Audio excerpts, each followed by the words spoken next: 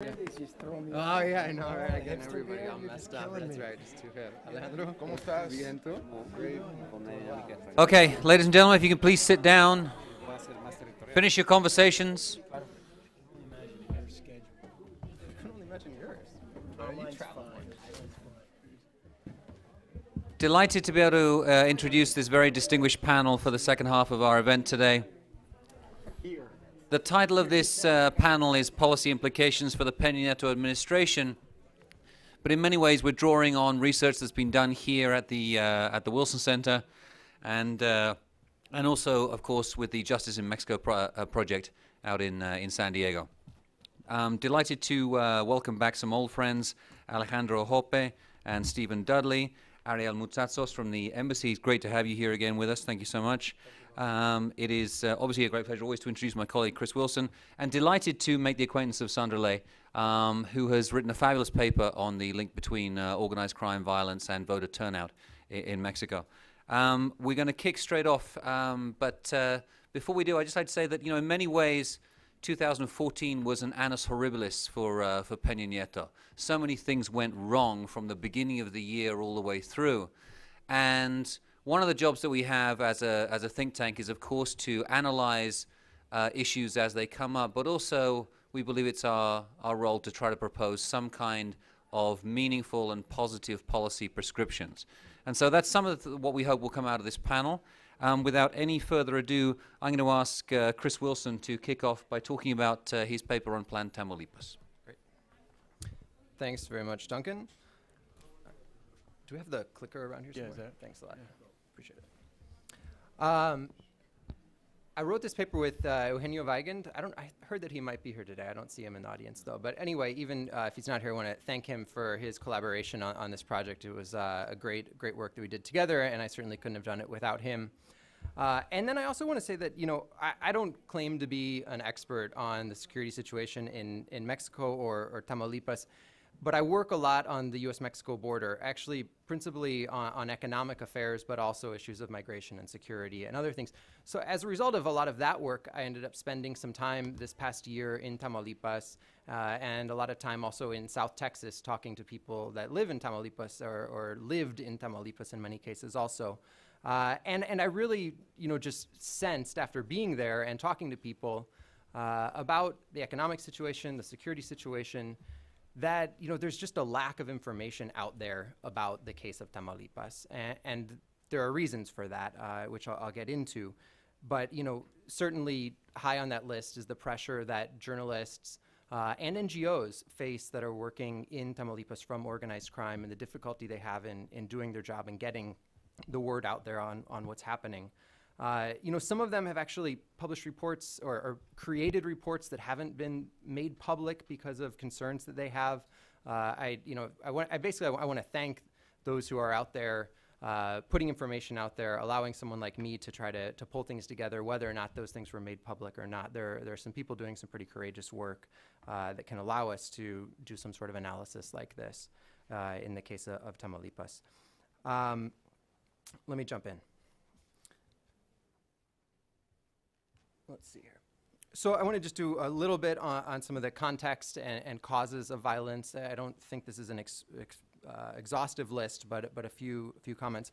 One, you know, piece of the puzzle is certainly that Tamaulipas is a very important trafficking corridor. That's not just a drug trafficking corridor, uh, but a trafficking corridor in general. And that's linked to the fact that it's also a very important commercial corridor. You know, around 40% of all U.S.-Mexico trade comes through the, the port, the, the, the, port of entry at Laredo, Nuevo Laredo. So there's incredible volume of commercial traffic, licit commercial traffic that's happening there. There's also a large degree, the, the area right along the border uh, from about Laredo south is probably more populated. There's probably more, you know, miles of populated area on both sides of the border than anywhere else on the U.S.-Mexico border. There's a lot of small towns that make up the, the southern Rio Grande Valley. And that provides a lot of cover for all sorts of traffic that's happening also that's not happening through the official ports of entry. So migrants, whether they, they come into the United States, can easily disperse and disappear into the network of safe houses that exist on the U.S. side of the border, uh, all sorts of trafficking that happens in that way. We know it's an important weapons trafficking corridor with weapons flowing to the south. Um, and all of that uh, makes the area incredibly valuable for organized crime groups. There's been a long history of trafficking, you know, going back to the precursors of the Gulf Cartel, having to do with alcohol, sort of bootlegging, and, and all. There, there's a long history there, and so this is a, a, an area worth fighting for, uh, and it's an area that's been fought over for many years. Uh, you know, primarily you're talking about the, the Gulf uh, cartel and the Zetas that have been disputing the area for in recent years, but also the Sinaloa and other groups that have come in and tried to make incursions at different points in history. Um, some, some changes have happened, though, in, in recent years. Uh, and, and I think some of those started with the arrival of the Zetas as an independent actor around 2010. Uh, but there's also some been some very important changes that have happened with the fragmentation of the Gulf cartel in the recent years also, uh, and maybe to a lesser degree, but, but also importantly to the Zetas in, in the recent couple of years. And we've seen a, a spike in homicides, in extortion, in violent robbery, and kidnapping during those periods um, especially kidnapping, that's now around six times the national average per capita in the state of Tamaulipas. It's, which, and, and, we saw earlier with David's presentation that the, the national average has also gone up. So, some, so you've seen a spike on top of a spike that's happening nationally. Um, but now the, the dynamic you know, of one just fighting over trafficking corridors has shifted to one, uh, you know, largely put to the, the Zetas and their business model of taking control of terrain and having several different types of criminal businesses uh, in each of those areas. And importantly, the move into other businesses besides trafficking, such as kidnapping, extortion, uh, violent robbery, you know, pipeline theft from Pemex, et cetera. Uh, crimes that have society as the target, uh, as the victim. That's a very important shift. And, and, and that's then also, you know, it hasn't just been the Zetas that have done that, though. Also, with the, particularly with the fragmentation and the weakening of the Gulf Cartel, we've seen, you know, the emergence of lots of groups in Gulf Cartel-controlled uh, cities to also be focusing on these types of crimes that really have society as the, the victims. And so right now, you know, now it's not just about fighting over corridors for trafficking, but it's also about fighting over territory to extract rents from the members of society and the violence that lands on society as a result of that. So that, that's a huge challenge. It also has negative economic consequences. You know, businesses that are extorted go out of business. Uh, investments are slower to come into the area as a result of that. You know, unemployment in Tamaulipas is higher than the national average in Mexico, which of course leads a cycle because that means there are more recruits available for organized crime groups in the area. So there's a bit of a cycle of, of violence and economic implications uh, in play as well. Um, let me move on. Deep penetration uh, and extreme intimidation of state and local government and police, uh, and with that also pressure on civil society and the press. I just have a sort of a, a smattering of headlines and images of official sources that help us understand a little bit what that picture looks like uh, in the state of Tamaulipas, but it's pretty, it's a pretty depressing picture. Uh, you know, regional security chief, which is, this has happened uh, in just last fall after the new security strategy was put in place, uh, from the you know military general from the area of Nuevo Laredo, who was killed last fall. Uh, you know, Mexico investigating three former governors. The most recent three past governors of the state of Tamaulipas a few years ago were all under investigation at one point by the Mexican government. More recently, Thomas Yarrington, a past governor of the state, has had uh, an indictment from the U.S. federal government, unsealed, that goes extent. It's a pretty extensive indictment. It's a pretty interesting read. You know, details pretty explicitly the way that public offices were sold uh, or, or, there were payouts for public offices and that are relating to security, pretty deep collusion between uh, local and state officials and, uh, and organized crime groups in the state. Um, the, the, the pressure that's been put also on. I mean, it's not just uh, it's not just collusion, but it's also intimidation. Certainly, uh, there have been multiple mayors that have been killed, uh, heads of, of, police chiefs in, in different cities in the state. So this and this has been happening for several years now. I mean, the first source that I have up there goes back to 2005, talking about uh, the state of the the local police force in Nuevo Laredo being effectively controlled by by the Zetas as they were a part of the Gulf Cartel at that point. Um, you know, th this is obviously it's a it's a big challenge. Um, I mean, I guess the the bottom line in some ways is that the the democratic transition has never arrived fully, that, that Mexico has gone through, has never arrived fully in Tamaulipas. Uh, it's a state that's always been under PRI control. And I don't say that uh, as, you know, I don't bring that up as a problem because of the PRI, but I bring it up as a problem because transition of government matters. Uh, it's an opportunity for sunlight to be shed on the deeds of the past administration, and, and, that type of sunlight has very seldom been shined on, on the deeds of past administrations in Tamaulipas, despite the fact that we have some uh, things coming through with these indictments. Um, but I, I, think it points to a, a, systemic problem of governance in the state that limits its capacity to respond to the intense pressure that's felt on the state because of its placement geographically uh, in the in the midst of one of the most important trafficking corridors through Mexico. That's a lot uh, of challenges to to deal with, and Tamaulipas is doing it with very few police. Uh, these are this is the most recent numbers. Uh, just came out in November 2014, so I updated it from the paper. Uh, but it's state and municipal police per I did it per capita divided by population, and Tamaulipas comes in third from last. Uh, with right around 100 police per 100,000 citizens. That's way below, you know, most of the, the entities in Mexico. Um, and it's part of, I mean, there's a, there's a justification for it. A lot of police forces were disbanded in the state uh, you know, a lot of municipal police forces because of the deep levels of corruption. And there's a period, hopefully, uh, that's undergoing right now, which is a, a, transition period to a new system of a state level police. Uh, but in that interim period, we're, we're, left with a state that's very lightly policed, and, and that has real implications. Numbers matter as well as the quality of police. Uh, so there's there's a job to be done both in improving the quality because we have so many reports that show deep levels of penetration uh, of state and local police previously, uh, but also in numbers because the the numbers that are there certainly uh, aren't up to the level of pressure that the state's under from from criminal groups. Um, so, you know, as a result of, of, these, I didn't show all of the stats, but as a result of some of the, the pressures the state's under, there was a, a new security strategy uh, that was announced last May uh, has you know divided the state up into four different areas, zones. Uh, had special uh, commanders uh, from the, the, Navy or the Army for each of them. Uh, left out Nuevo Laredo, which was a bit strange, but later on the governor starts talking about that as sort of a fifth subzone in the strategy, so sort of tacking that on to the originally announced strategy. Uh, the objectives are right there: dismantling organized crime groups, closing down the trafficking routes uh, and then guaranteeing uh, effective and sufficient, reliable security institutions. Uh, some different tools were put in place to help implement that strategy. Uh, additional federal security forces. I just want to highlight that because given the, the lack of numbers of police, it's obviously important that something fill in the gap, right? There's some sort of a stopgap measure. So it, it makes, there were, there was an inflow of additional federal forces federal police, uh, Marines, uh, uh, the, the Army, uh, and more recently between two and 400 uh, gendarmerie. So that matters. That, that's an important thing that happened with the strategy. Um, renewed effort to build an accredited state police. So this is this transition to the mando único, to a single statewide police.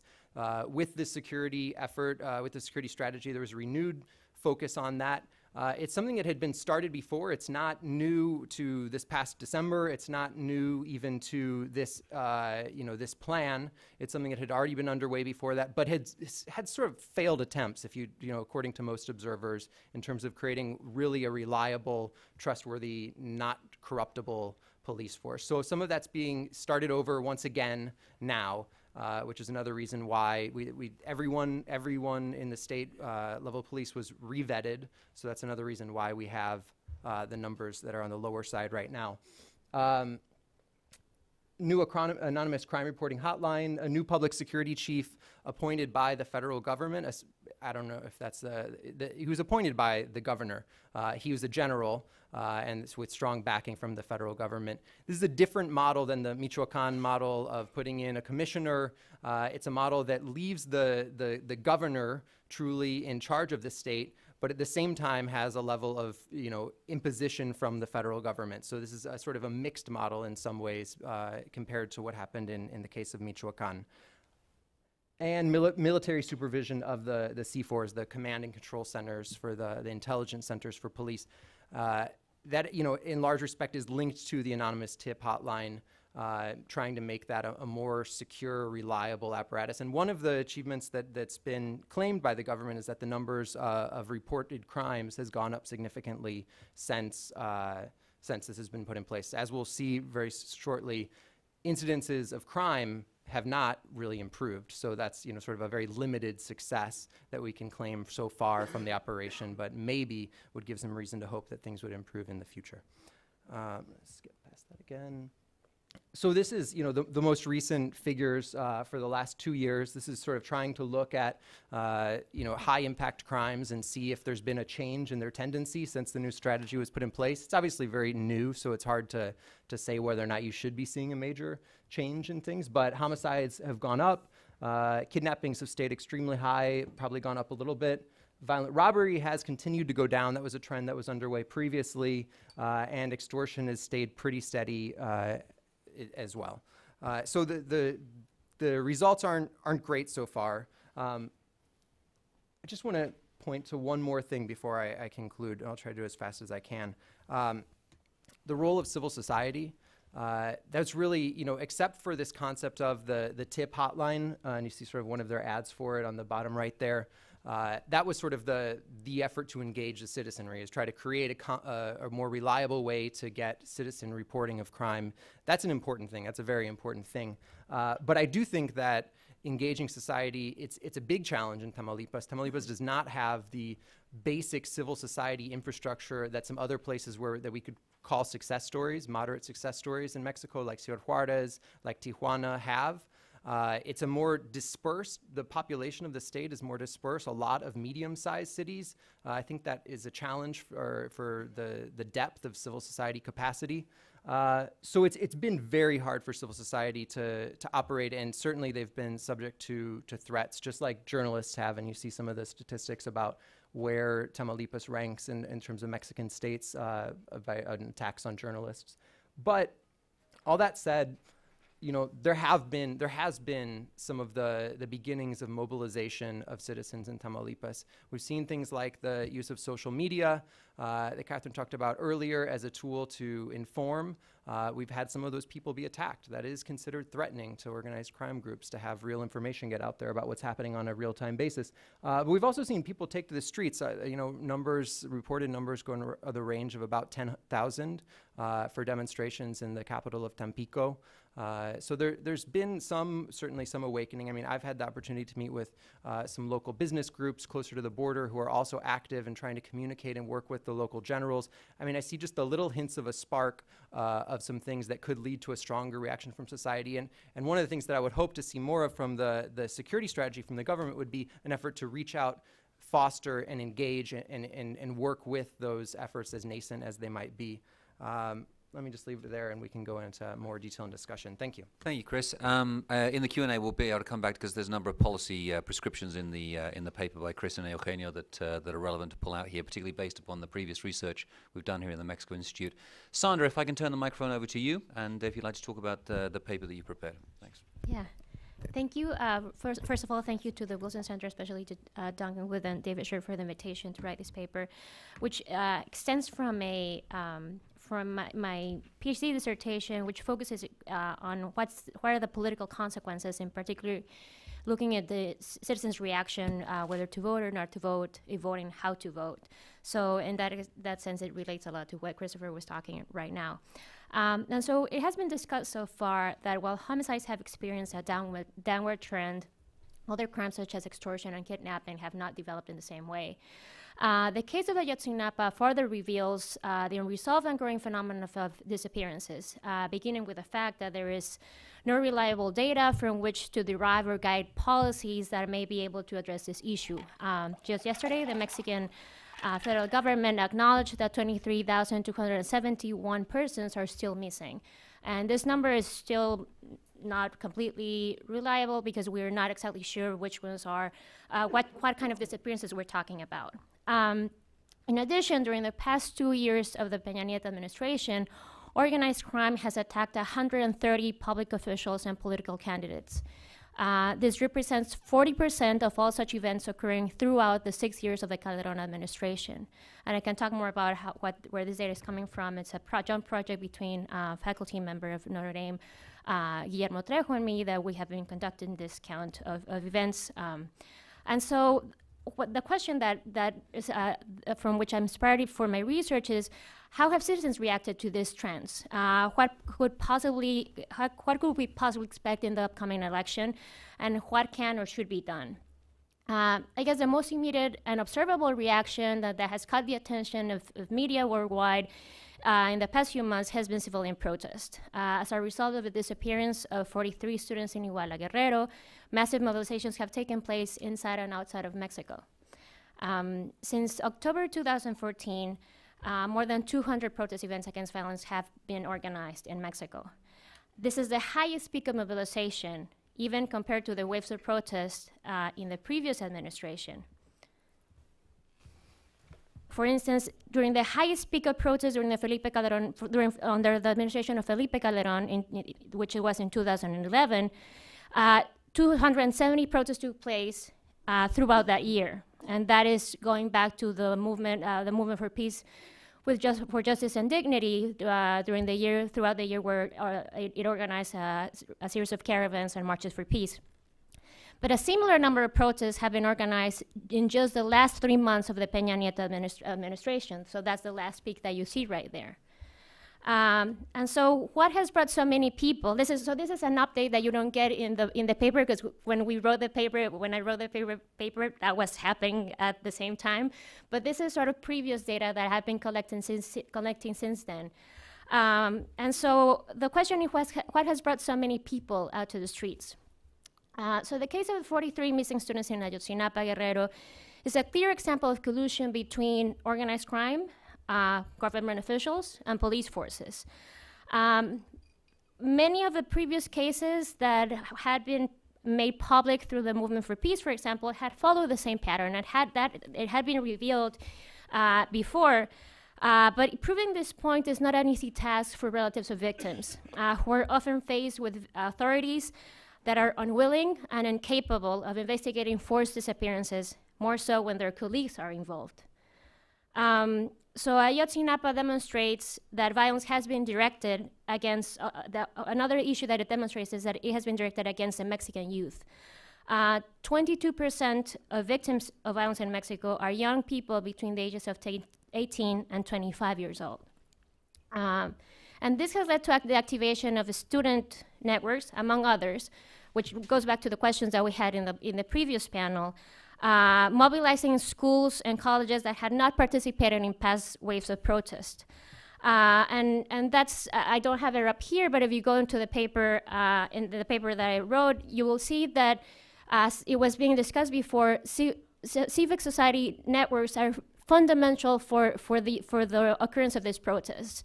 Uh, it is through networks that victims and participants can reshape their perceptions of risk and of risk and benefits. Because as, has, as it has just been said, uh, right now, uh, really participating in this protest is not an easy or straightforward decision. There are many risks that are involved. Um, and, and, and we can see how important networks become uh, in terms of being able to put issues on the public agenda, in terms of uh, exposing governmental wrongdoing, and sometimes also it could help resolve some cases. And for this, we, we have some examples in Monterrey. Uh, the organization CADHAC, led by Hermana Consuelo, those are the kinds of, it, it has been able, by moving uh, in, a parallel, in a parallel road between um, mobilization and the streets, while at the same time working with authorities, being able to resolve some of those cases. Uh, and, and, and so and then revealing to this collusion between organized crime and public officials, which I, I here I have to recall um, Emilio Alvarez Icaza's uh, uh, uh, announcement when when when Ayotzinapa uh, uh, came into the media and he, with him saying, well, the surprising thing about Ayotzinapa is that people are surprised because this is something that we had been seeing over and over again. Uh, and, and, and protest has been a great, uh, has played a very important role for this to actually become public. Societal accountability mechanisms such as social protests can do this, can put these issues on the agenda, which can be can, are fundamental to do, and which sometimes electoral forms of participation are not so straightforward in putting that into the public agenda. But as I was saying, uh, taking part of such of such actions is really not an easy or straightforward decisions. Uh, citizens who participate in, this in these actions are further exposed to violence and retaliation by criminals and, and colluded officials. In some other cases, protest is simply met by repression, as it was the case actually just yesterday in the state of Puebla. Um, the fact that protests have continued to grow uh, in the midst of violence could lead us to believe that uh, there's a positive association between violence and a politically active citizenry. But this conclusion would be incorrect.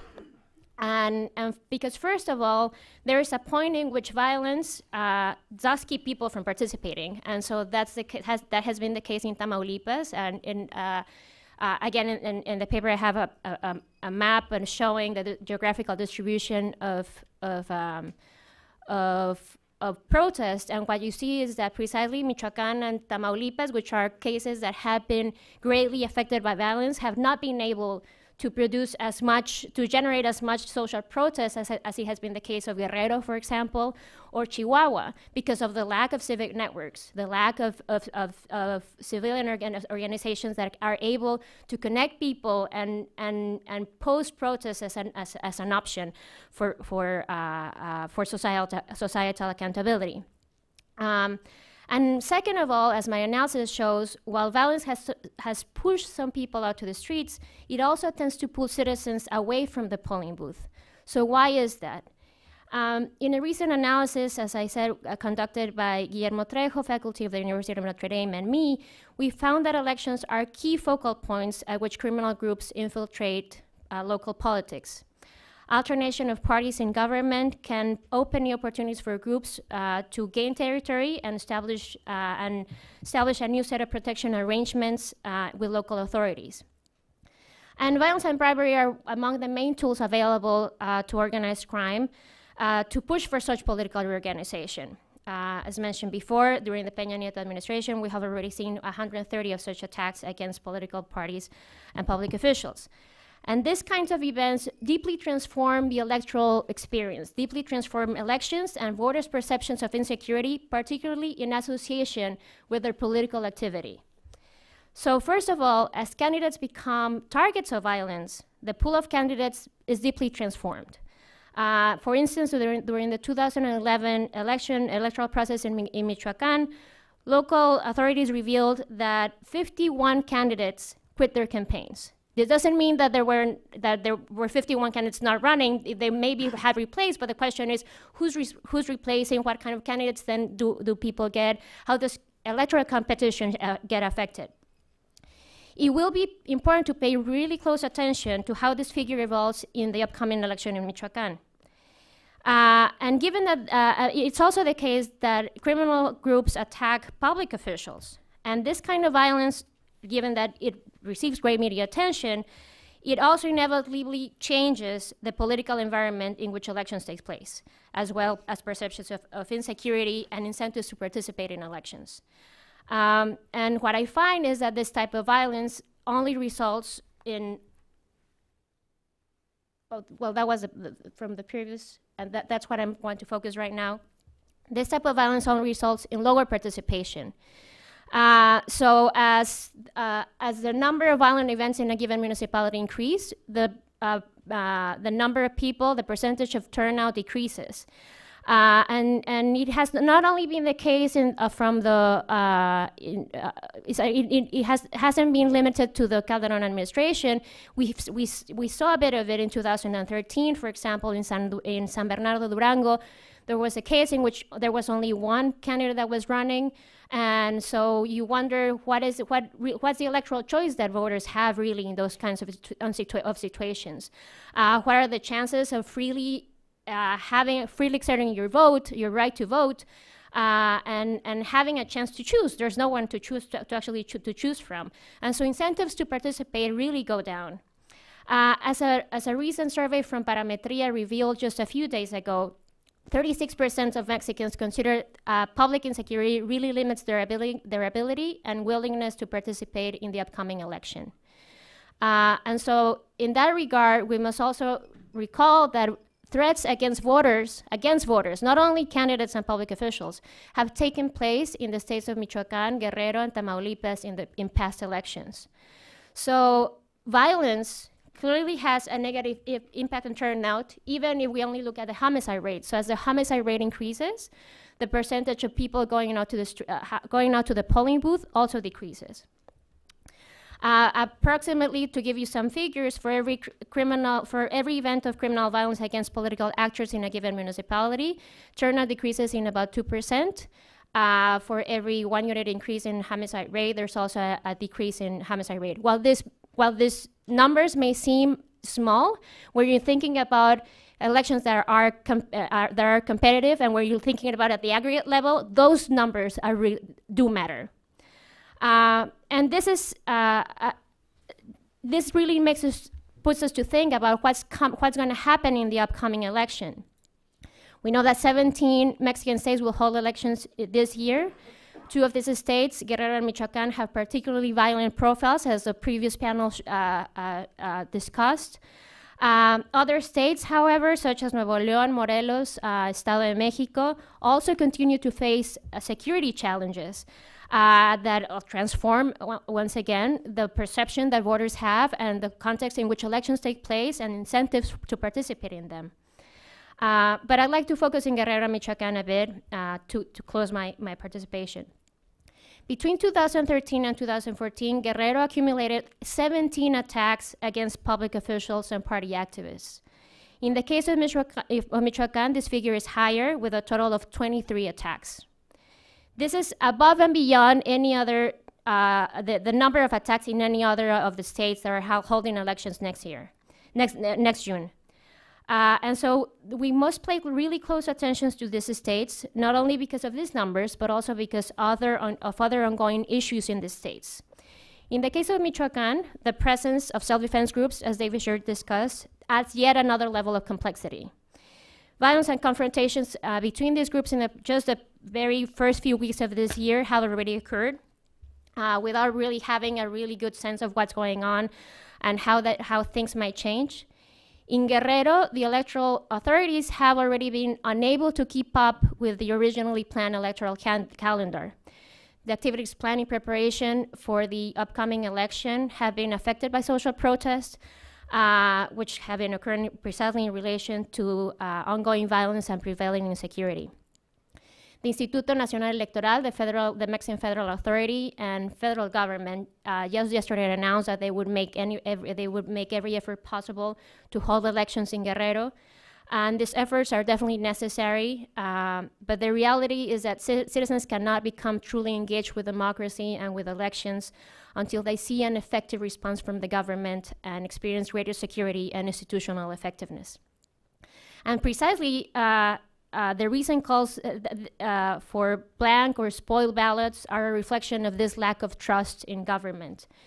Uh, in violent uh, contexts, such as the ones that I just described, combined with increased cases of corruption scandals and prevailing impunity, calls for boycotting elections are understandable.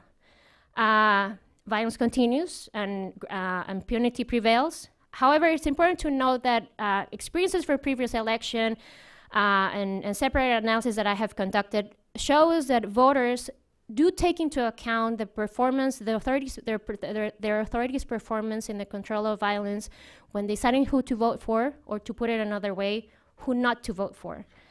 Um, and this is important because it suggests that in the midst of violence, there's still hope for electoral accountability.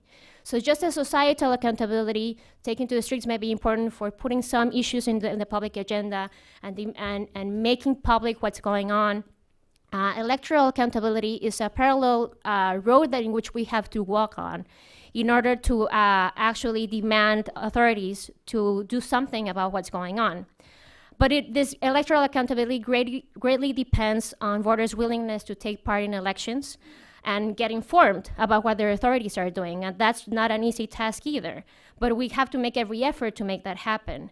Um, guaranteeing voters conditions, uh, uh, conditions of security for voters to go out to the polling booth and express their vote in a most the most free uh, way possible is not the only it's, it's not only the responsibility of the electoral authority. It is a collective effort that is, starts from uh, having effective uh, screening and monitoring of candidates and campaigns, uh, but also it's, a, it's the responsibility of uh, the of authorities more generally of building a stronger and political institutions to control violence and exercise uh, justice. And it's also the effort of citizens that are actively willing to get informed, demand justice, and respect for their rights. Thank you. Thank you, Sandra. Um, moving right along, let's uh, ask uh, Alejandro to give us uh, your uh, your outlook on uh, on security in Mexico this for this year and some of your policy prescriptions. Thank you. Um, could you put present? Okay, thanks. Um, well, thank you, thank you, Duncan. Um, uh, thank you to Woodrow Wilson Center uh, for setting up this uh, this very timely um, event. I'm pretty sure this has had taken place, say, six months ago. Uh, probably the crowd would have been half of what it is right now. I mean, six months ago, it was all about energy, it was all about reform, it was all about the Mexican moment. Um, I mean, Mexico had turned a corner. And yet, six months later, we're here talking pretty much about security. Um, we all thought it was so 2010, so Calderon uh, seems it is not. Uh, and I'm going to try to tell you a tale why I think this happened, uh, what led to this sudden return of security to the foreground of Mexico's public agenda. Um, um, eh, you have to understand what, uh, I mean, to understand the backlash, you have to understand where we're coming from. And say, even for the past, the first two years of the administration, I mean, there were sounding, government, government officials were sounding really triumphant notes. Um, let me see how. Um, um, just give me, let me give you, and, and those triumphant notes were becoming ever louder over the past few months. Let me give you a couple of, of uh, statements made over the past, uh, in August, i.e., one month before Iguala. I mean, this is from the National Security Commissioner, Monte Alejandro Rubido. Uh, he said, well, we could ask whether 19 homicides per 100,000 is a manageable level. And the definitive response is yes, which is an interesting way of describing an uh, homicide rate that is six times, three times the global average. But anyway, that's what they were saying. Um, and also, this was coming from the top. I mean, this was uh, President Peña Nieto said August 22nd, 2014, i.e., um, Iguala minus 34 days. Um, it said that the security and justice policy implemented by this administration is effective and has delivered good results to the Mexican people. Um, and let me be clear, there were some reasons for optimism. Um, or what were they? Well, homicides were definitely down. Um, let me see. I mean, let me see if I can uh, can approach this. Um, I mean, intentional homicides have declined for three years in a row now. Um, they were down about 30% down from the peak of 2011. Um, part of it may be explained by policy, part of it may be explained by other factors that we don't really understand. But, but indeed, I mean, homicides, I mean, which were the, the locus of the, the locus of the security crisis under the Calderon administration, are definitely on the way down. Um, but also, I mean, uh, uh, the, the government could point to some to some successes, particularly in terms of bringing down some of the major kingpins in the country, uh, beginning by uh, with the big ones. The big one, uh, Joaquin Guzman Loera, aka El Chapo, the head of the of the Sinaloa cartel. I mean, this was uh, once uh, declared in, say, in Chicago, the successor of Al Capone, the public enemy number one, and that means very uh, the, the Mexican government did a very, very successful operation and brought him down, captured him. Um, and it, well, he was not the only one. Uh, they killed Nazario Moreno, who was uh, the head of the Knights Templars, uh, who was thought to be dead, and apparently he was not, uh, but now he is. Um, Um, uh, so, uh, and this this was also a major, I would say, a major triumph for Mexican intelligence and Mexican security agencies.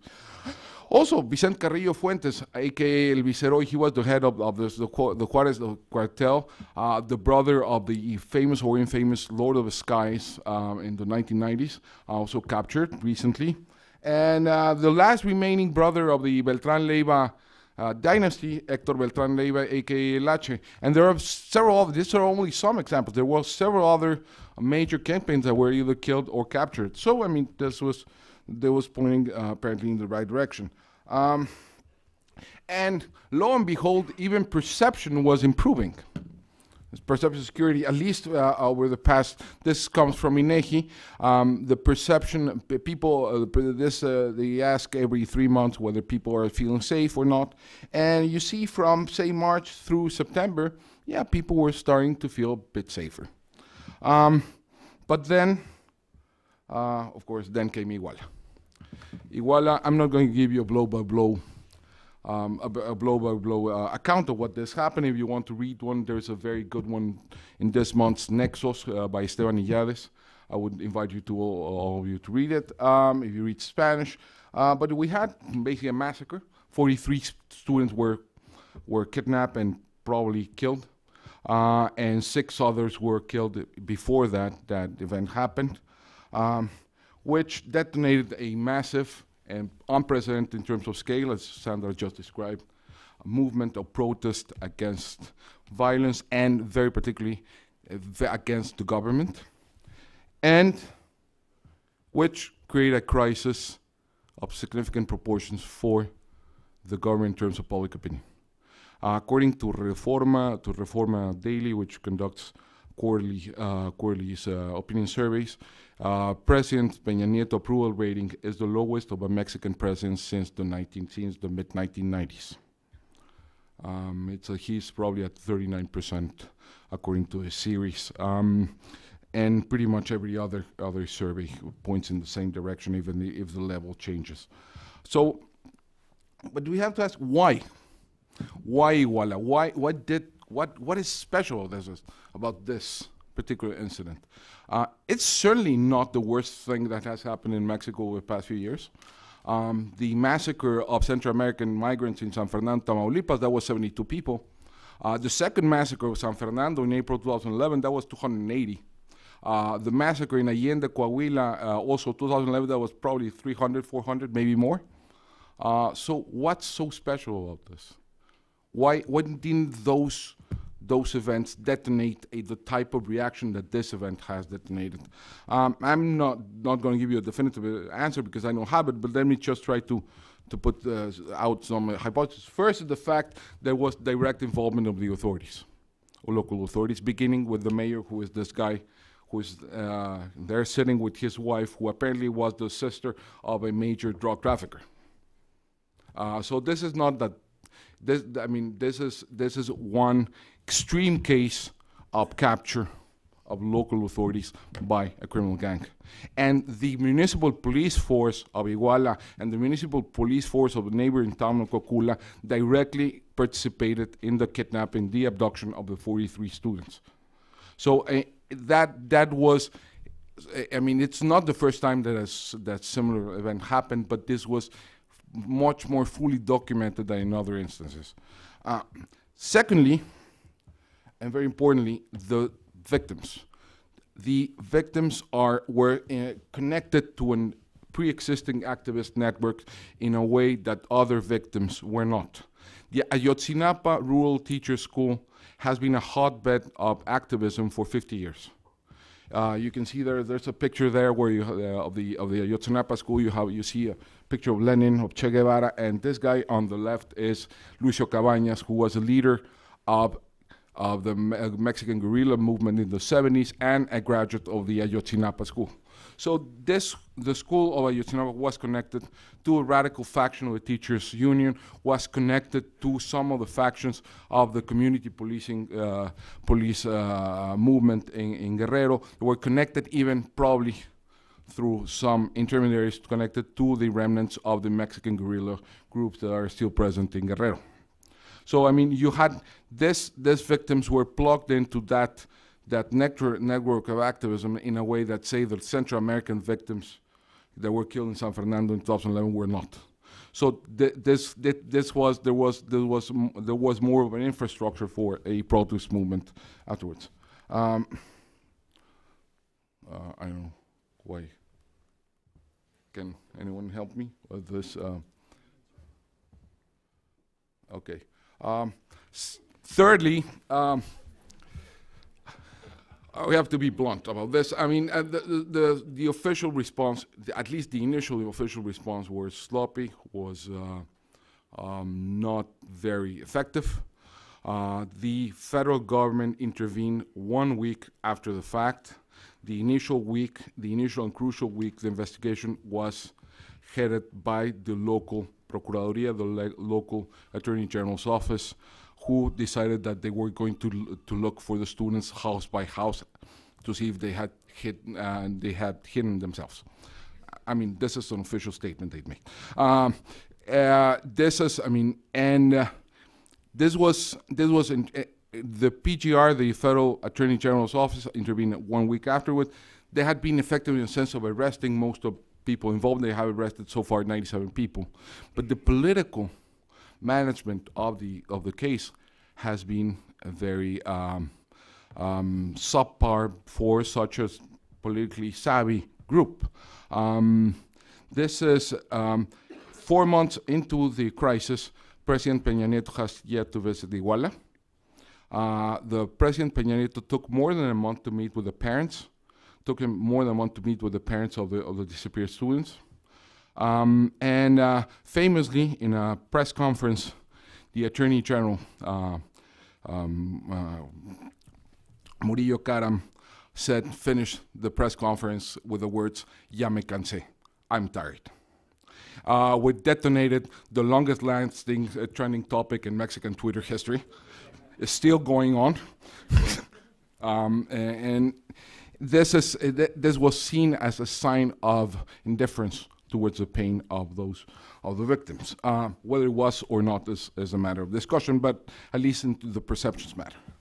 Um, and finally, and this is I I think an important uh, point, is that the Iguala case subverted one of the favorite tropes of the government's discourse in terms of security, which is that the key to security, the key to lower uh, levels of violence was coordination with subnational, uh, subnational authorities. Which, of course, there was, but there was coordination with this guy, for instance, which was the Governor Guerrero, um, uh, who was who had tolerated the existence of a of a narco governing Iguala, and probably promoted a narco governing Iguala. Yes, there was a lot great coordination with that guy, but coordinating with some of those guys are coordinating directly with criminal gangs. Um, and it's very interesting that now no one's uh, coordination has no longer no longer plays such a big role in terms of the discourse of the of the, of the administration. Um, and because the, the diagnosis of the of the incoming Peña Nieto administration in 2012 is that violence was mostly an issue of political management.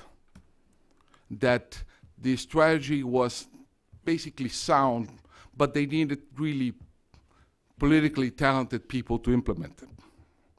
Um, and uh, and uh, so that if you could only bring everyone to the table, uh, violence would start calming down. And and this, I think, this took a hit. This really took a hit with the Iguala, with the Iguala uh, incident.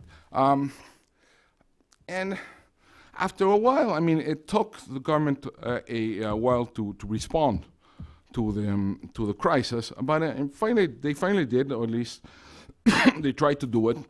On November 27, President Peña Nieto unveiled a 10-point plan, uh, a 10-point plan uh, on on security and justice. Um, I'm not going to, to delve into details, but just let me tell you the two big ones.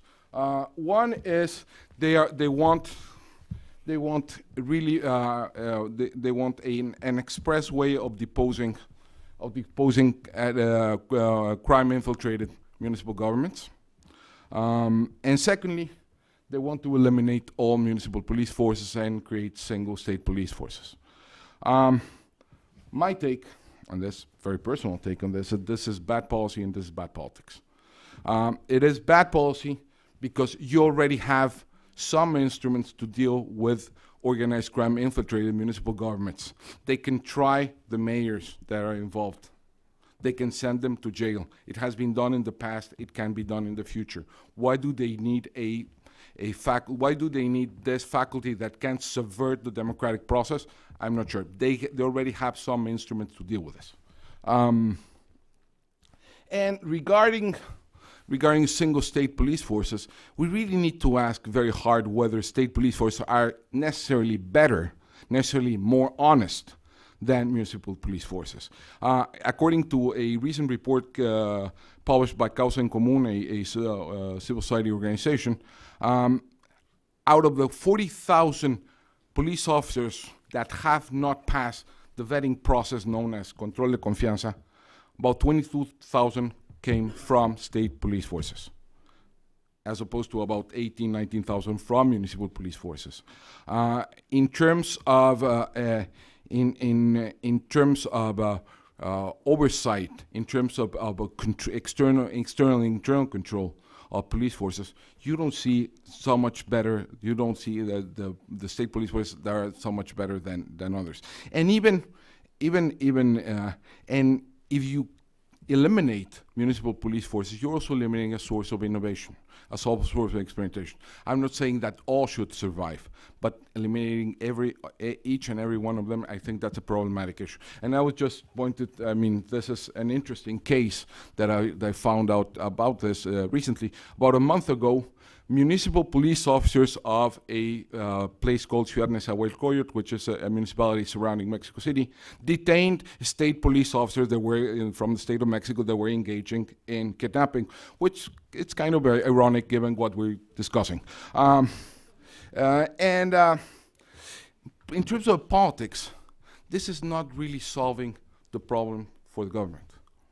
In many ways, this is being perceived not as reform, but as a power grab and and it is it is setting and the government i'm pretty sure that assent on december 1st i think december 1st december 2nd the bill sent by president peña nieto will not pass will not be approved it, they could be setting themselves up to their for the first significant legislative defeat of the administration so I'm, I'm not sure what, what, what they think. And in terms of public opinion, it's really not doing the job.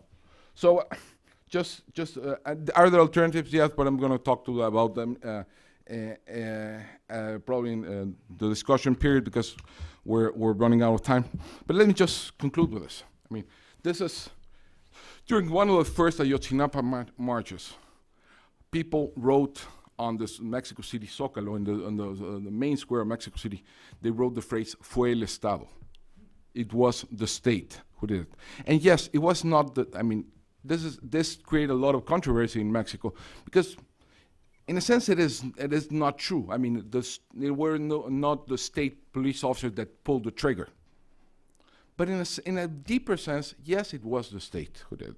The state failed in protecting its citizens. The, fail, the state failed in reforming its institutions.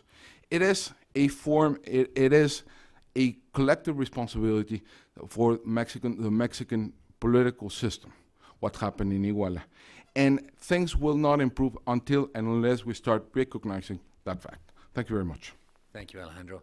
Uh, Steven, please jump in.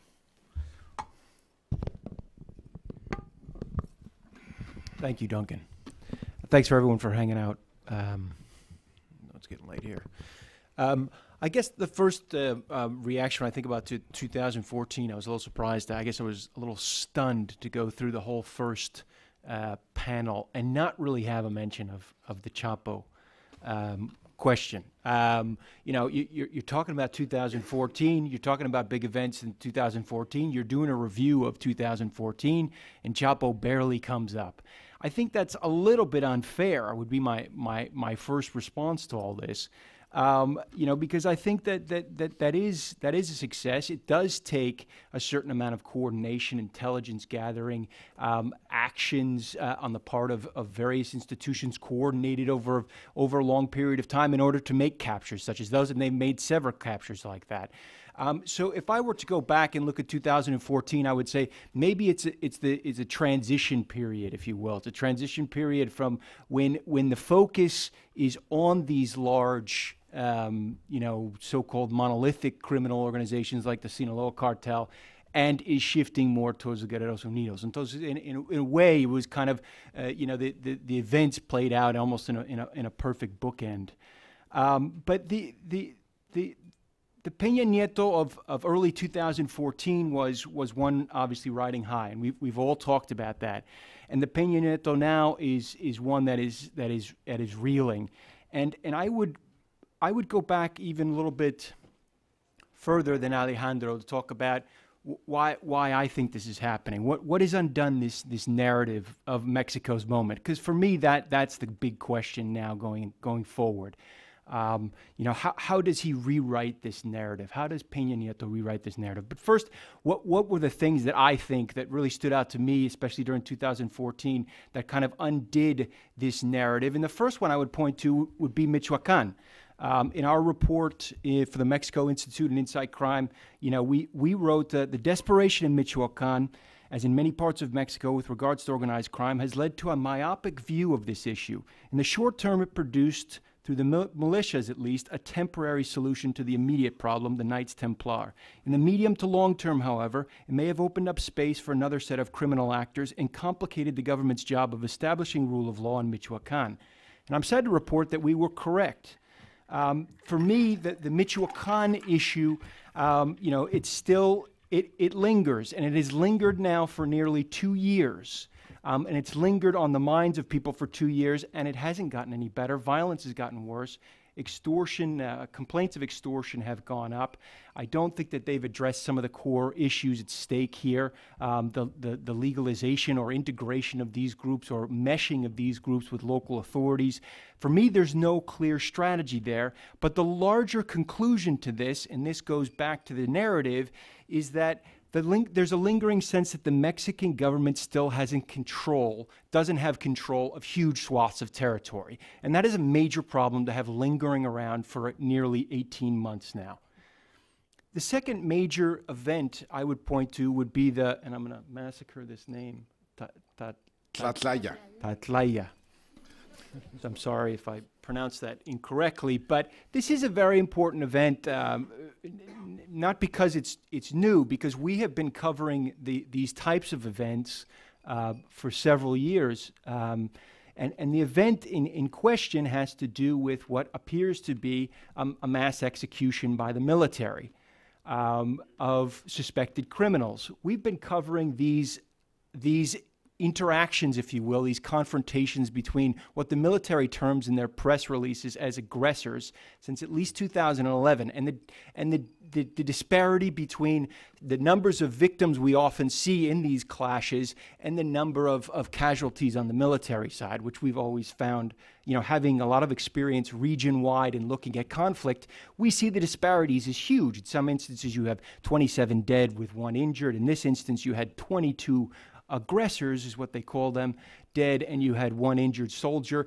And thereafter, you had something that was something that hadn't happened before, which was the government came out and said, well, the Human Rights Commission came out and said, yes, they did indeed kill at least 15 of them.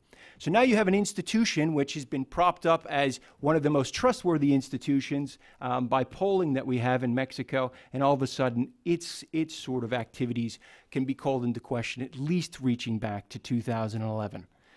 And the third event is, of course, Iguala. And I think that I, I won't have to go into uh, much detail at all because I think Alejandro laid it out perfectly. Um, and even we can step back further with regards to Iguala, uh, a story we wrote, which we titled The Crime Foretold, um, and all about the events leading up to Iguala, which included a very strong accusation and investigations on the part of the Attorney General's office of murder by the mayor.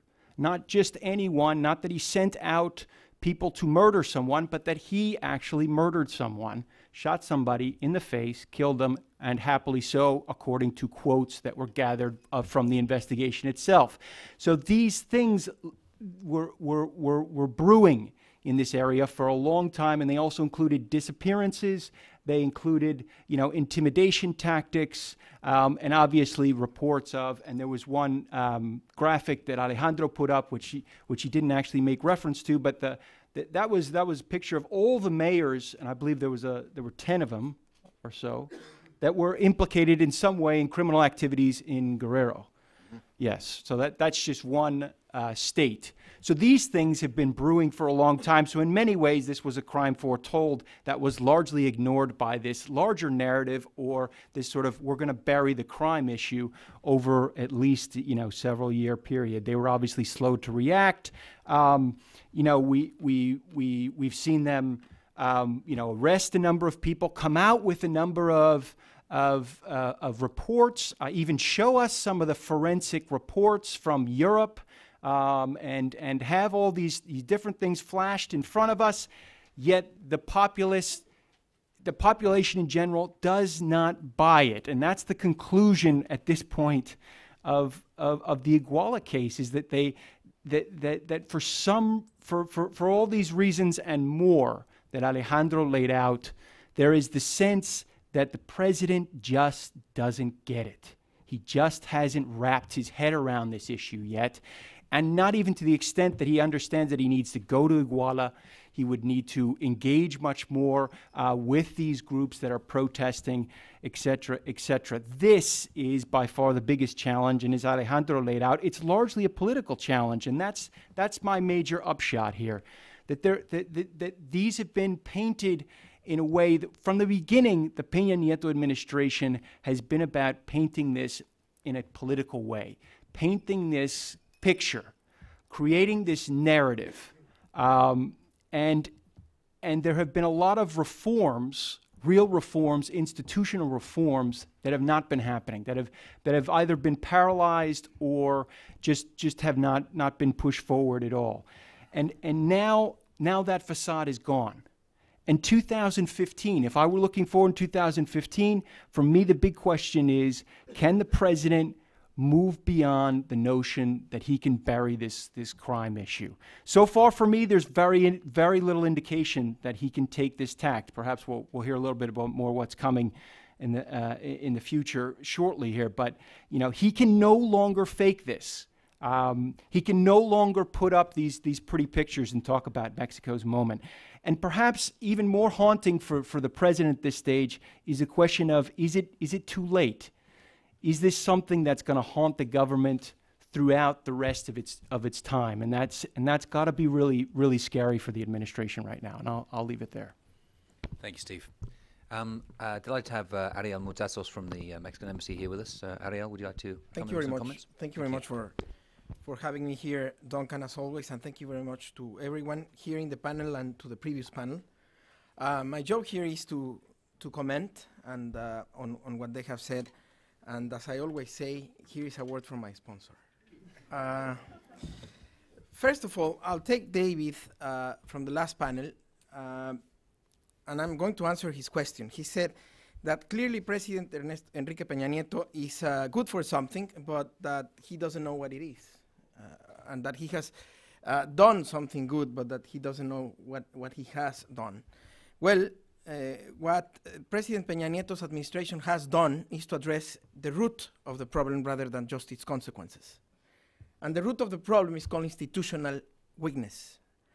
Behind the problem of security in Mexico, uh, and let me say this Mexico does not have a drug problem. And Mexico uh, has a drug trafficking problem, yes, but we have rather a security problem. The drug problem is the consequence of institutional weakness and is a symptom, but that, that's not actually the root of the problem. The root of the problem is uh, lack of uh, institutional strength in security and justice. We have a very, very strong state in, in all other areas of government, but in security and justice we are not yet there. And I have uh, already addressed this uh, issue here in the Institute in previous uh, occasions. Uh, so the difference is simply we cannot just keep addressing this problem uh, by having the police and the military on the streets and by not necessarily solving the root of the problem, which comes from the institutions. It comes from uh, uh, lack of community uh, spaces, lack of opportunities there. It, it- we need to restore the social fabric. Uh, in reality, uh, communities and the people are the ones that are more responsible for their security. And I don't mean that they should take the guns out and patrol the streets. I mean that when you uh, occupy public spaces, when you go to buy something, or you take your kids to school, or you go out and, and bicycle around, you are actually using your communitary spaces, and that obviously um, kind of uh, uh, uh, avoids or, or makes more difficult for the criminals to go around and, and walk in those streets. And that's what we need to, to take back. We need to prevent violence by creating opportunities uh, for employment, uh, for education uh, in, our, in our communities. And we also need something very important, which is territorial control. Uh, territorial control in some parts of Mexico was uh, more or less surrendered to the, to the criminals. Um, and uh, with the new gendarmerie uh, of 5,000 elements, this uh, is their main um, area of action. This is their main objective right now, and the gendarmerie will grow. But territorial control, as I said, is very important uh, in terms of, of security. And here I will try to connect uh, with another concept that uh, came up with Alejandro and practically with, with everyone in terms of the making a, or adopting a model of a single state police rather than uh, having the local police forces that we have. Uh, Alejandro uh, has questioned that, and other uh, analysts here have, experts here have other also questioned that. But let me tell you, uh, let me give you an example rather than just giving you the, the theory behind that. Um, in Mexico City, we have 35,000 police officers. The average age of those is more than 43, probably around 45. They are not very well armed. They all have just probably a Smith and Wesson 38, maybe a 45 at best. They do have uh, good police cars, acceptable, um, but and and they are overweight. We, we have to accept that. Maybe either they eat so much tacos or so many tacos, or they don't exercise as much as they should, but they are overweight. But they are a lot. 35,000 police officers for one city like Mexico City uh, is a living example of what means critical mass for the police. And this is very important. If we have a municipality in Mexico with 100 police officers, to which organized crimes arrives with guns and with money, and they tell them either we kill you or you work for us, what do you think is the choice that they will have? And they cannot ask to another police force of the vicinity of another municipality to give them support because they don't have uh, authority to act in that, uh, let's, let's say, territory or municipality or jurisdiction, however you want to call it. So it is very important to give police support um, of the government, and that can only come uh, from what they call centralization, which is certainly a centralization at the state level, uh, so that they can have uh, superiority, at least in terms of the numbers. And I have seen this firsthand when I worked at the uh, Office of the Attorney General. In three minutes, you had uh, three patrols, three, uh, three cars of police officers. In five minutes, you had 15. And in 10 minutes or 15 minutes, you had 300 police officers outside the house of uh, some uh, uh, drug dealer or some person that you were, uh, you know, undertaking a search warrant, and it was over because it didn't matter if they had AK-47s and they were 10. They, they are not about to shoot 300 police officers all with guns. So it's not ideal. The, the police force of Mexico City uh, lacks many, many things. But Mexico City is certainly a very, very safe city compared to uh, other uh, places in Mexico and other places in Latin America and other places in the world, and considering its size. And the main reason for that is the size of the police force. So we have 35,000 police officers. You know how many we have in the country? Federal police officers? 42,000. So we have just a little bit uh, more than 7,000 police officers for the whole country than what we have just for Mexico City. So it is a matter of critical mass. And when you have critical mass, it's also more difficult to corrupt the, the, the, the policemen because they cannot coordinate uh, for purposes of corruption as well as very small forces. So obviously, bigger forces are more difficult to corrupt. Uh, uh, and in that sense, I think that the, that the single state police model will work because at least we will have critical mass. And it will be more uh, uh, easy or easier to train them. It's uh, easier to vet them. It's easier to have uh, uh, to undertake uh, some investigations of internal affairs. Um, it's easier to get uh, actionable intelligence uh, to work, and it has many other advantages. Uh, that's why the state uh, model for police forces is uh, what what President Peña Nieto has chosen, uh, and he has expressed so in in um, in his ten points and in other uh, occasions uh, as the as the path that we are following already in in Mexico. Um, and they gave the example of Tijuana, and I agree uh, with David. Uh, Tijuana has made a lot of progress, and uh, the model of Tijuana is very much like the model that we are trying to implement in, in each state of, of, of our country. Um, and uh, just to clarify, uh, Mando Único, or the single command, is not the same as, uh, as a single state uh, police command. I don't know if it has been said here, but sometimes we, we see that confusion there. And with that said, in terms of, of the security strategy, let me, well, uh, and, and finally, just let me just say that corruption is sometimes the cause of many problems, but taken in, in perspective and strategically uh, uh, visualizing it, corruption is really not uh, the root but the consequence of uh, weakness of institutions and lack of, uh, of decent levels or acceptable levels of rule of law.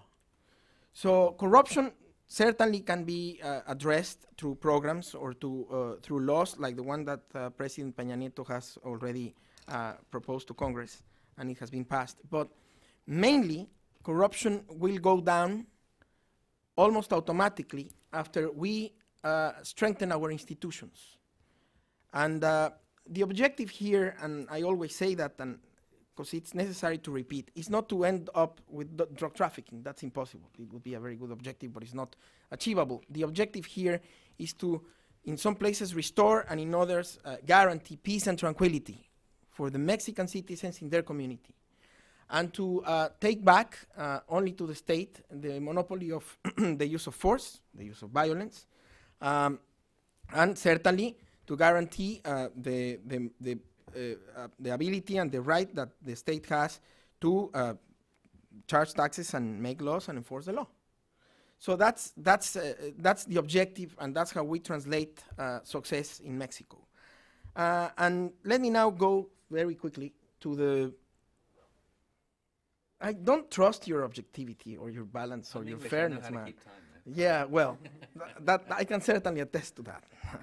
Uh, let me now talk uh, very quickly about uh, Ayotzinapa and about Iguala, because one of the miscommunication uh, problems of, of, of, of this issue is that, for example, I don't know if you knew, but Ayotzinapa is more than 100 miles away from Iguala. And the, the communication, let's say, distortions have put it almost in, a, in the same place or close to Iguala, but it is not. And it is just one of the many uh, misconceptions of, of uh, uh, the problems, uh, the tragedy at Iguala that, that we need to, to contextualize. And let me be very clear here, uh, at the risk of uh, sounding aggressive, I do not mean that, but let me be very clear. Uh, I heard, Sandra, if I believe it's correct, that we have seen Ayotzinapa over and over again. That is not only speculation, that is totally false. Let me repeat that. We have not seen Ayotzinapa over and over again. Uh, maybe I heard you incorrectly, but you said that one of your sources, or I said that Ayotzinapa reveals the collusion between government officials or police forces in some cases with criminal with criminal uh, organizations, and that has been the case. Not the mass, not not the massive uh, uh, uh, the, the, the dimension of Ayotzinapa, but what I meant is that many other cases in the past have revealed that this collusion between police, local police forces, and criminal organizations had been occurring for the past for a long time, and that has been the cause of many forced disappearances in many other states aside from Guerrero. But not that Ayotzinapa, uh, that, those were not my words. No, no, I, I, I know that those were not your words. What I meant is that you were quoting someone that said that. That. uh, So what that I so what I was quoting was Emilio Alvarez Icaza was saying that what is surprising is that Ayotzinapa surprises us because this phenomenon of the collusion between police forces with criminal organizations had been going on for a long time. Well, thank you very much for clarifying that, because I was uh, worried. Uh, I just heard that, and I was uh, worried to, to clarify. Thank you, Sandra. Um, in terms of of, uh, of Iguala and the and the facts, uh, the tragedy of Iguala, uh, Steven asked. Steven said that the public, uh, for some reason, do not do not buy uh, the version of the government, and that uh, and that there is this uh, perception that the president just don't get it. And I'm going to say two two things uh, that are probably obvious, but everything is obvious until five minutes later. And first is that the fact that the president does not acknowledge acknowledges publicly something continuously or regularly does not mean that he doesn't know about it. And most importantly most important is importantly he that doesn't mean that he is not doing something about that first of all. Uh, and second of all uh, the truth is one and, and the results of, of the investigation of, of the attorney general's office in coordination with all the security institutions in mexico uh, is truthful and it's the truth regardless of whether someone believes it or not. So the truth does not depend from credibility or, or for, from someone believing it or not. It's just the plain truth. And I think that no one can contest one thing. And that thing is that the investigation on the, on the facts of Ayotzinapa has been the biggest investigation in the history of Mexico, and it has been impeccably articulated. We have right now, Steven and friends and in the audience, we have right now, a, few days less than uh, four months after the tragedy, uh, we have managed to uh, detain 97 people, including 36 municipal police officers, 24 uh, from Iguala, 12 from Cocula, that are members also of Guerreros Unidos, including its leader, its top financial operative, and the members allegedly responsible for, cap- for capturing and transferring the students. These 97 individuals have been convicted of 221 crimes. And let me say this uh, again in another way. We have the intellectual authors of the massacre in jail, and they are not only uh, under under The prosecution. alleged intellectual authors, there's also, there's still something called presumption of innocence. Uh, sorry, The alleged intellectual authors, there, there's something, something called presumption oh, of I'm, innocence. I'm going to say that, and they are not they are not going they are not only investigated right now, they are under trial, and until they are uh, the, the trial is finished and they are sentenced, they are as Alejandro said, uh, they they can be considered the the ones that are guilty. We have them. We have the, the suspects of being the intellectual authors of, of the massacre uh, under arrest. Uh, and, and when the victims, uh, the, the parents of these 43 students uh, decided that they wanted to have also some, a team of forensics, forensic experts from another country to guarantee the investigation, we accepted them. And we not only accepted the Inter-American uh, Human Rights Commission to have, uh, to, to contribute or, or collaborate in the investigation, actually we called them prior to, to anyone proposing that. And they are investigating uh, uh, and they are involved in the investigation that the government is making. Please. And I really would like to leave a little bit of time for a, for one round of questions. I, know was that we're, I was uh, sharp and right to the point, but I, I, I what I would just say is that for me the amazing thing is, and and perhaps to your point, is that despite all of this, that that's where I'm going with this. Please. So, so that, that is an undeniable fact. That the government of Mexico has done not only everything at its reach, but has performed a historic investigation in which less than four months we have the majority of the suspects of, of the massacre in terms of intellectual authors and material authors. With that said, I'm going to fall for a temptation in one minute. Two, English time. Uh, I'm going to fall for, for a temptation. Uh, Alejandro Hope is very good at communicating, and so Steven is. And communication is supposedly my specialty. And uh, Alejandro was mentioning uh, a few minutes ago that um, that you know uh, he was uh, commenting on, on, on the on the attorney general giving his uh, responses to the media and uh, uh, "ya me cansé" phrase or "I am tired" phrase, uh, showing uh, uh, you know a concept that has been uh, retaken in, in many tweets and, and all over all over the protests. Which, by the way, in Mexico we see protests as the most important sign that Mexicans do not accommodate violence in their lives, and that after a few years of having violence in some territories, in some municipalities of our country, we still uh, do not accommodate violence in our lives, and I think that's very important to say. But going back to what Alejandro and, and Steven just uh, said, uh, perceptions do matter. And I don't have answers, but I have questions in this regard.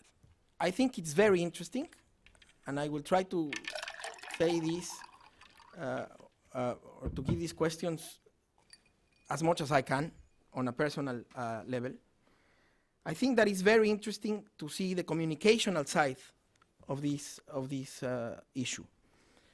Um, I'm not sure how we how is it that we went from having a mayor of a town and a wife allegedly, you know, uh, giving an order to the police to stop students and then passing them to the to a criminal organization.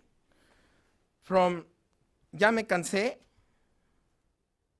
renuncia Peña Nieto, and the government is the problem or guilty of all this. I think that communicationally is very interesting to at least ask oneself who is behind this? How did we go from, from having and knowing the person that allegedly performed this and gave the order to just distracting all this attention and, put it, and put, putting it into the federal government? How did we pass from one thing into another thing?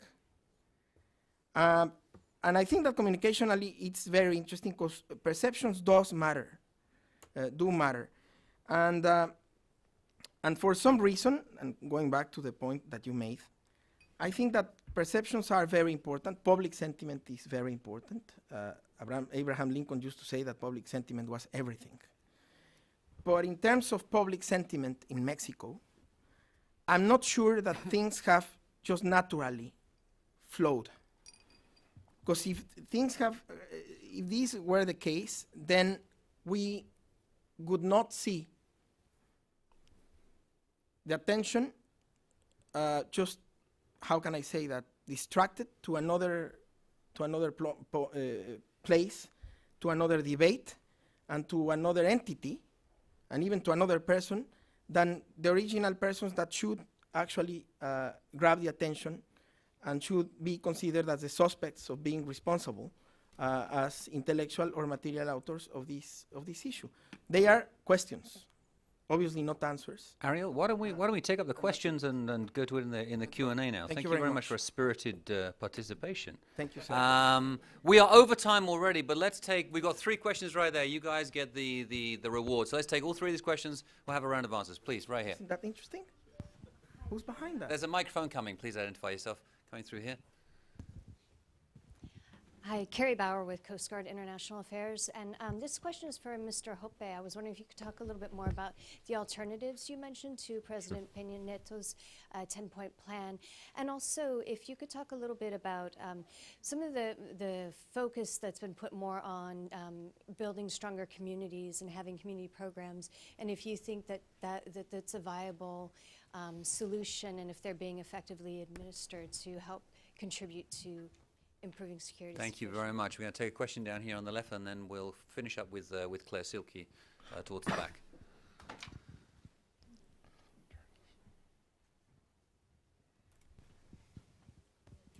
Hi, I'm Bernadette from Georgetown University. I'm a graduate student. Uh, I had a question for Mr. Ariel.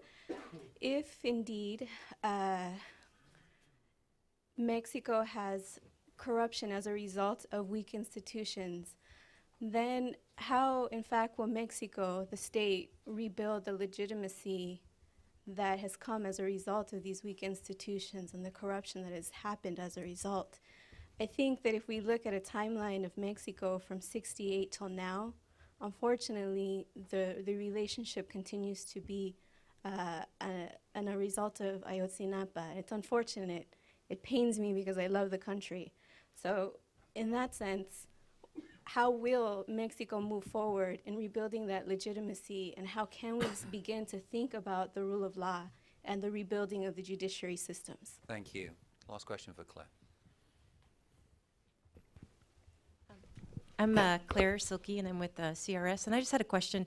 Um, when I read the Mexican government's response to um, Iguala, the thing that interested me was I was wondering in any of these cases where it's a, a local or state issue, why it, um, is it something in the federal structure that you guys are thinking of reforming as part of the 10-point plan, where federal officials, the federal attorney general's office has to give a go to the state level people, even if they're totally inadequate, the local PGR, you know, the state level investigators are horrible. If you know that, does the Mexican Constitution allow the federal PGR to step in before seven to 10 days go by?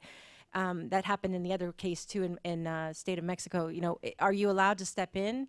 And also when, when it was said that federal forces couldn't have helped this, the students because the because if they had they be, they would have had to been requested by that by the local officials and in that case they would have been acting against the students. Like the federal police that were there and the military that were there well they couldn't help out because the help wasn't requested by the local or state people and even if they had they would have been they would have been doing bad not good. Don't they have freedom of action to protect civilians? That's what i'm wondering. And if they don't what do they need to do? Is that a reform you're thinking of? Because it seems strange. Thank you, Claire.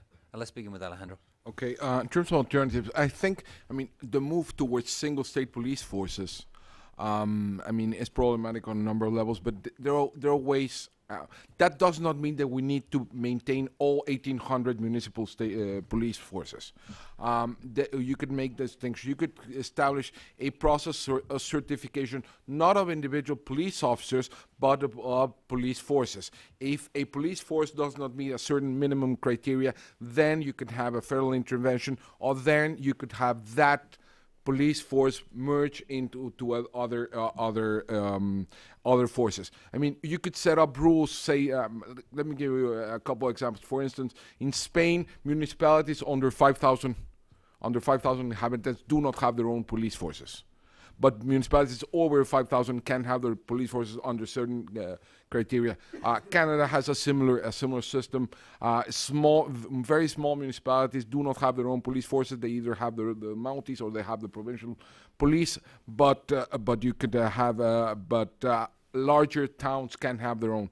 Um, and it's not we should not confuse order with geometry. Let me put it this way: there is no, I mean, some, there is no reason why Mexico should have 32 state police forces. I mean, Canada, in Canada, only three provinces have their own police forces. The rest is national and then local. Or Spain, similar thing. You could have you have uh, only two regional two regions of Spain have their own police forces. The Basque Country and Catalonia.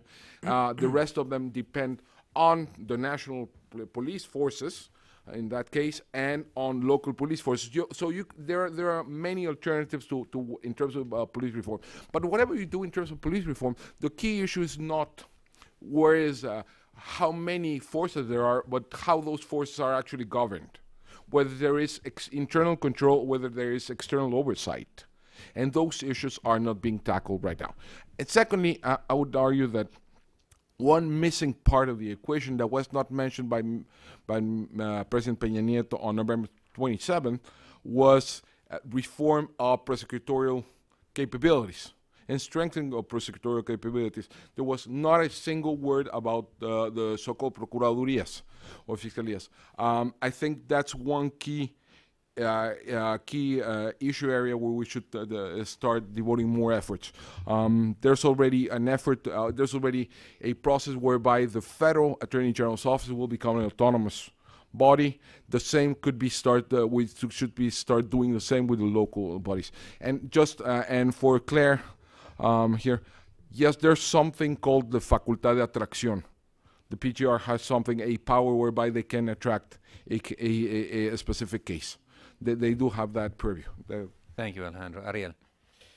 Um, so to answer how to rebuild legitimacy, well, uh, it has many uh, fronts, but I'm going to address the most popular one. You believe in the institutions when they work. So if we, and we are actually flying the plane while building it, but if we, we are strengthening our institutions, and if we uh, make them work up to a point, uh, and this point has been reached already in some uh, uh, states or municipalities that were not there before. Uh, if we take them to a point in which the people know that when something unlawfully happens and they have or a, or a crime is committed, the institutions will actually, you know, respond by getting that person or the responsibles uh, for that crime and uh, investigating them and processing them, taking them to a judge and then uh, uh, to jail, then that's the way in which we will restore legitimacy.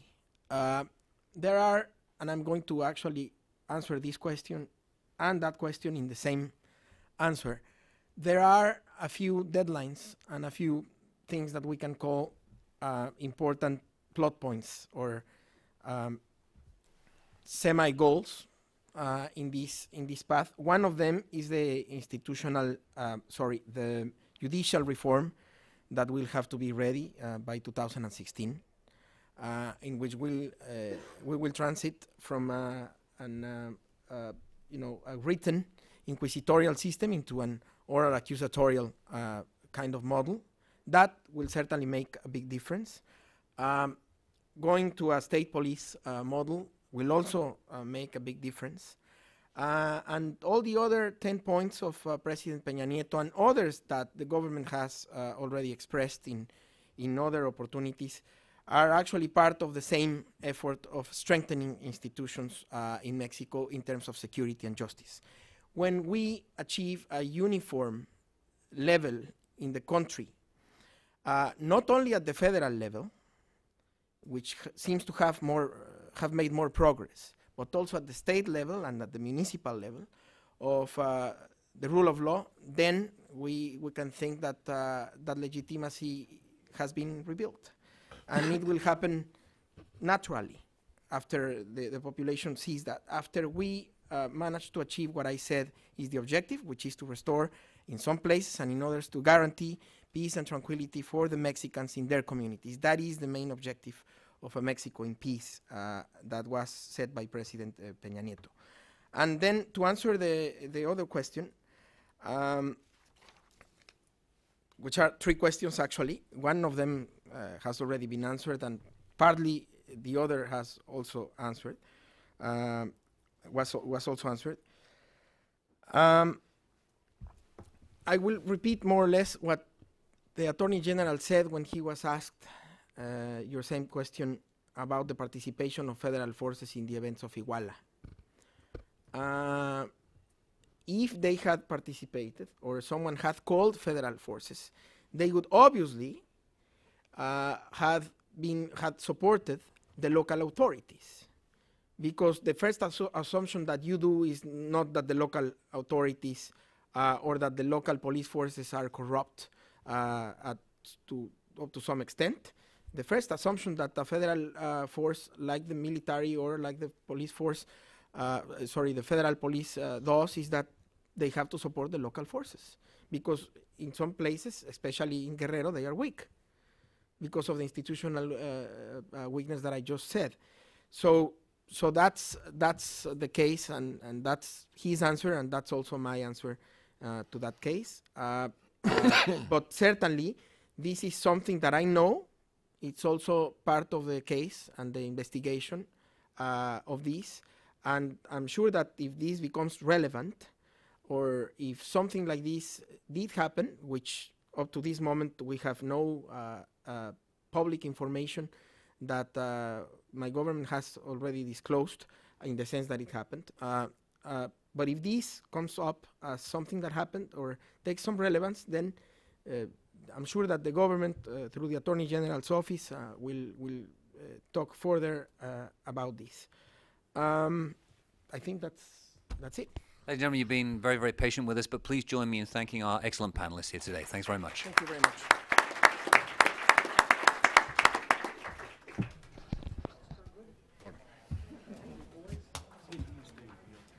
Claro que es un misterio, cabrón.